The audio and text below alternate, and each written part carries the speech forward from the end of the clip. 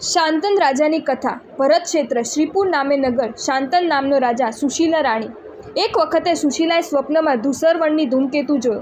તે સ્વપ્નની વાત પોતાના પ્રિય પતિ શાંતનને કહી. અનુક્રમે તે સ્વપ્નને અનુરૂપ એવા શ્યામ વર્ણવાળો પુત્ર થયો. તે પુત્રને જન્મ થતાં જ રાજ્યલક્ષ્મીઓનું મુખ્ય અંગ હાથીઓનું સૈન્ય ક્ષય પામી ગયું.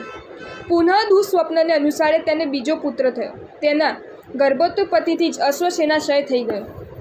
તેવી રીતે ત્રીજો પુત્ર થતાં તે રાજાની સર્વ સંપત્તિનો નાશ થઈ ગયો. ચોથા પુત્રની વાત સાંભળતા જ તેના શત્રુએ અપાર સૈન્યથી શ્રીપુર નગરને ઘેરી લીધું. તે વખતે ક્ષીણ થયેલા શાંતન રાજા, રાણી સુશીલા અને પુત્રોને લઈ કોઈ સ્થાને નાસી ગયો નીલ, મહાનીલ, કાલ અને મહાકાલ એવા નામના તે ચાર પુત્રો સાથે વ્યસનોમાં ચકચૂર થયા.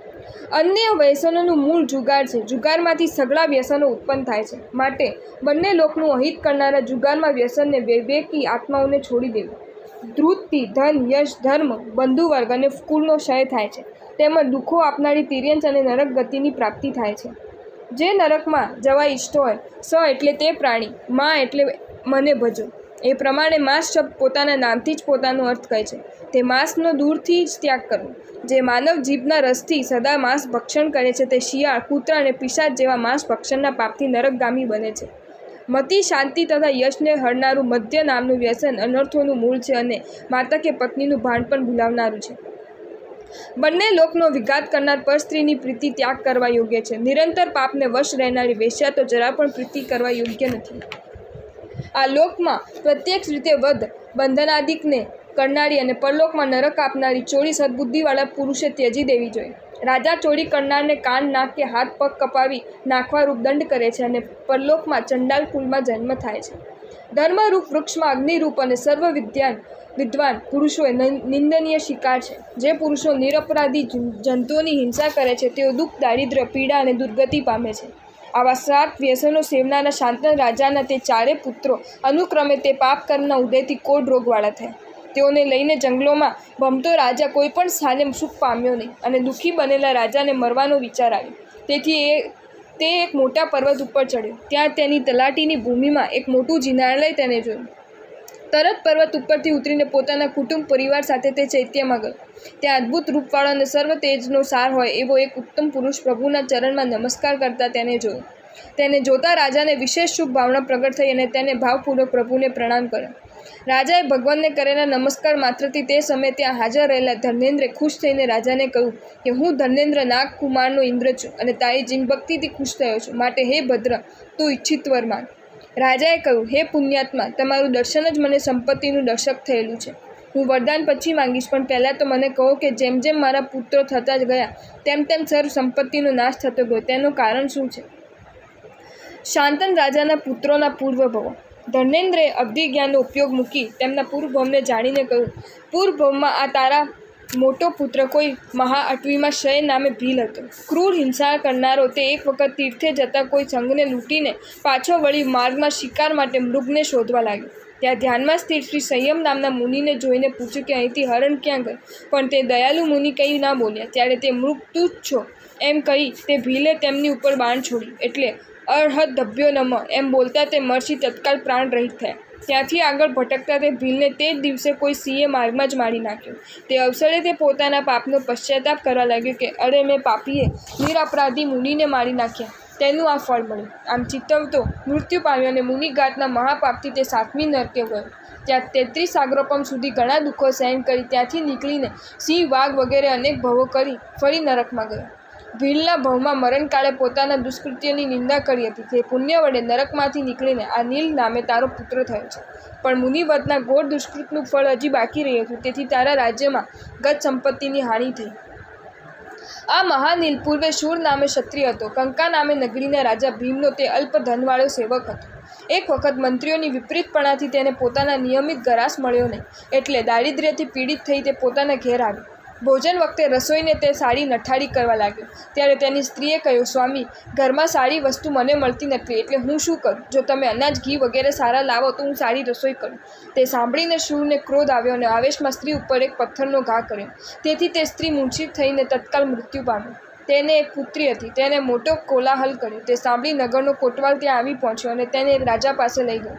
રાજાએ શૂળીએ ચડાવવાની આજ્ઞા આપી એટલે કોટવાલે તરત તેને શૂળીએ ચડાવ્યો. તે વેદના સહન કરતાં કરતાં કોઈ મુનિના મુખ્યથી બોલાતા નવકાર આદર બુદ્ધિથી સાંભળ્યો. ત્યાંથી મૃત્યુ પામી છઠ્ઠી નરકે ગયો. સ્ત્રી હત્યાથી બાંધેલું કર્મ ભોગવી નવકાર મંત્રના શ્રવણથી, હે રાજા, તારે ઘેરા બીજા પુત્રપણે મહાનીલ નામે અવતર્યો છે. આ તારો ત્રીજો પુત્ર કાલપુરુષ જન્મમાં એક શ્રેષ્ઠીનો પુત્ર હતો. તે કામંદ, અગમય સ્ત્રી સાથે ગમન કરનારો દેવ તથા ગુરુનો નિંદક અને ધર્મનો ઘાતક હતો. ધન અને યૌવનના ગ્રહથી તે માતા પિતાની આજ્ઞાનો માનતો ન હતો. એક વખતે તેના કૃકૃત્યોથી કંટાળીને તેના પિતાએ તેને નગરમાંથી બહાર કાઢી મૂકાવ્યું. એટલે તે જંગલમાં ભટકવા લાગ્યો. છેવટે કરોળી અને મુખપાકના રોગની વેદના વડે મૃત્યુ પામી છઠ્ઠી નરકે જઈ. ત્યાંથી તે કાળ નામે તારો પુત્ર થયો છે. આ ચોથો પુત્ર મહાકાલ. પૂર્વભવે એક બ્રાહ્મણનો પુત્ર હતો. નિત્ય ભિક્ષા માંગીને આજીવિકા કરતો હોવાથી તે હંમેશા દુઃખી હતો. એક વખત કોઈ જીન પૂજકના ઘરમાં તે ચાકર થઈને રહ્યો અને એક સમયે લાગ જોઈ શ્રી જીનેશ્વર ભગવાનના આભૂષણો ચોરીને કોઈ ઠેકાણે ચાલ્યો ગયો. તેવા નિંદ્ય વ્યવસાયથી તેમને પ્રાપ્ત કરવામાં તેનું ચિત્ત લુપ્ત થઈ ગયું હતું. તેથી બીજી વખત વળી તે અધમ બ્રાહ્મણ મુનિના ઉપકરણો ચોરી લીધા અને વ્યસનના આસક્ત એવા તેને તે સર્વ વેશ્યાને આપી દીધા. આ પ્રમાણે ઘોર પાપ કરતાં તે કોટ રોગથી પીડાતો રીબાઈને મૃત્યુ પામીને નરકમાં ઉત્પન્ન થયો. પછી ચાંડાલના ભવોમાં ભટકી અંતે આ તારો ચોથો પુત્ર થયો છે. આ ચારે પુત્રો મુનિગાત સ્ત્રી હત્યા, દેવગુરુની નિંદા અને દેવગુરુના દ્રવ્ય હરનારા છતાં તારા રાજકુલમાં અવતાર્યા તેનું કારણ એ છે કે શય ભીલ મુનિના સ્મરણથી, શૂર ક્ષત્રિય નવકારના સ્મરણથી, નિંદા કરનાર શ્રેષ્ઠી પુત્ર સત્કુલમાં ઉત્પન્ન થયેલા હોવાથી અને ચોરી કરનાર બ્રાહ્મણને શ્રી જિનેશ્વરના દર્શન થયા તેથી તેઓ રાજકુલને પામ્યા છે. પરંતુ તેઓનું પાપ હજુ બાકી રહેલું હતું. તેથી હે રાજા, તેઓ તારા કુલમાં આવવાથી તું રાજ્યથી ભ્રષ્ટ થયો. માટે હવે તું આ રીતે સંસારનું સ્વરૂપ જાણી, મરવાનો પ્રયત્ન ન કરો અને આ પાપોનો નાશ કરવા માટે સુરાષ્ટ્ર દેશમાં આવેલા મહાતીર્થ શત્રુંજયની નજીકમાં રહેલી સર્વ દોષોનો નાશ કરનારી શત્રુંજયા નદી છે. તેનો આશ્રય લે. તેને કાંઠા જે વૃક્ષો છે. તેમના ફળોને જ માત્ર આહાર કર. તેના જલમાં સ્નાન કર અને તે ગિરિરાજનો સ્પર્શ કર. તે નદીના કાંઠે પૂર્વે સૂર્યદેવે નિર્માણ કરેલું સર્વ પાપહારી જીન મંદિર છે. તેમાં રહેલા જિનેશ્વરની મન વચન અને કાયાની શુદ્ધિ વડે પાપની શાંતિ માટે વિધિપૂર્વક પૂજા કર અને હંમેશા જીવદયાનું પાલન કર. આ નીલકુમાર શત્રુંજયામાં, મહાનીલકુમાર એન્દ્રી નદીમાં, કાલકુમાર નાગેન્દ્રી નદીમાં અને મહાકુલકુમાર તાલધ્વજી નદીમાં સ્નાન કરીને આ સર્વ વિધિ કરી. એવી રીતે વિધિપૂર્વક કરવાથી અનુક્રમે એક, ત્રણ, ચાર અને છ માસે તેઓ નિરોગી થઈ સુખ પ્રાપ્ત કરશે. પૂર્વના કુકર્મથી મુક્ત થઈ દેવત્વ જો, જેવું શરીર પામી પોતાના રાજ્યમાં સ્વામી બની અને તે સ્વર્ગ સુખના પણ ભોગતા થશે. આ પ્રમાણે સાંભળી હર્ષથી શાંતન રાજા પરિવાર સાથે ધર્મેન્દ્રના ચરણોમાં નમસ્કાર કર્યા ફરી ધર્મેન્દ્ર કહ્યું કે, રાજન, આ રીતે વિધિપૂર્વક છ માસ સુધી ત્યાં રહ્યા પછી મને ત્યાં યાદ કરજો. એટલે હું આવીને તમારા શત્રુઓ પાસેથી તમારું રાજ્ય અપાવીશ. એમ કહી ધર્મેન્દ્ર સ્વસ્થાનકે ગયો અને રાજા તેને નમસ્કાર કરી. શત્રુંજય ગોરી તરફ વળ્યો. તેની તલેટીમાં શત્રુંજય નદીના કાંઠે ઘાસની ઝૂંપડી બનાવી. કુટુંબ સહિત ત્યાં નિવાસ કર્યો. ત્યાં રહીને ધર્મેન્દ્ર બતાવ્યા પ્રમાણે વિધિપૂર્વક કરવાથી પોતાના પુત્ર રોગરહિત સુવર્ણ જેવા કાંતિવાળા થયા. છ માસ પછી ધર્મેન્દ્રનું સ્મરણ કરવાથી ધર્મેન્દ્ર ત્યાં આવ્યો. સૌને વિમાનમાં બેસાડી સાથે લઈને તેમના રાજ્ય ઉપર તેમને બેસાડ્યા. પછી શાંતન રાજા પુત્રો સહિત નિરંતર જીનયાત્રા અને જીન પૂજન કરવા લાગ્યું.